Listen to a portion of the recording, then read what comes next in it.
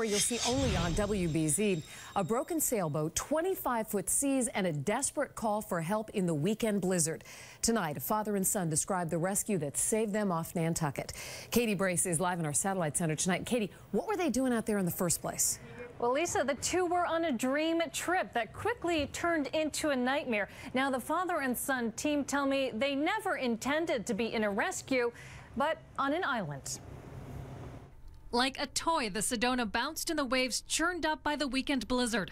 The Coast Guard scrambled to save Australians Jason and Reg McGleshan, who you see getting out of the basket. This is the father and son team now. We love them.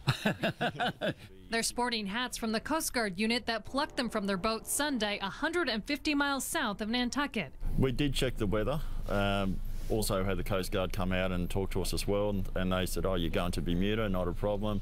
Uh, this boat will outrun the weather." Jason bought the 43-foot sailboat for $10,000 off eBay. He came to Rhode Island two months ago, repairing the Sedona and making her ready for the trip back to Australia. Took it out. Everything was working great. Jason, an experienced sailor, and Reg, who was on the trip at his wife's request, were ready for their first international boating excursion. It was about 24 hours in when things started to slowly go wrong, and at the end, everything skyrocketed. They lost power to the autopilot, and the storm ensnared them. The boat did almost get put on its side by two big waves, and that's the main reason that we, we left the boat. Once Coast Guard arrived, rescuers battled the elements. Rescue swimmers put the men into baskets, lifting them into the helicopter. We looked down and thought, crushed, that's rough. Jason still plans to pursue his dream of sailing the oceans. His father says he will stay on land. About the same as normal.